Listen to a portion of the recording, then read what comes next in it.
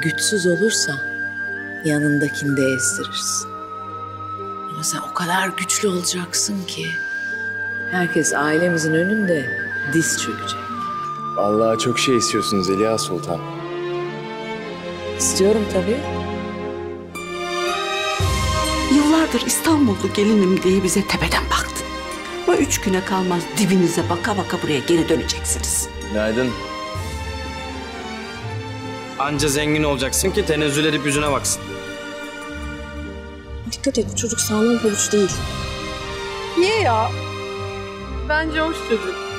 Senin gibi olmayı çok isterdim biliyor musun? Sakin, ölçülü, ideal insan. En gıcık olduğum tip. Vallahi ben sakinliğimi uzun süre koruyabileceğimi sanmıyorum.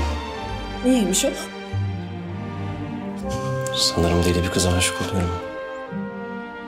Hepiniz mi aynısınız ya? Bütün umudum sende. Benle gurur duyacaksın anne.